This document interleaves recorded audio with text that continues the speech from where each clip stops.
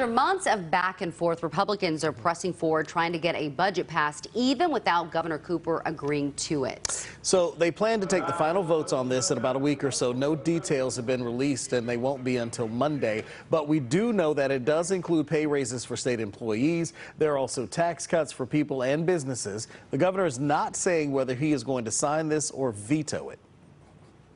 Is it something that he would say is perfect or he got everything he wanted? No. I think anyone in the House would say the same thing or anyone in the Senate. So it is a compromise budget. Everything that I've heard up to this point tells me that we are not making anywhere near the kind of investment we need to make in public education.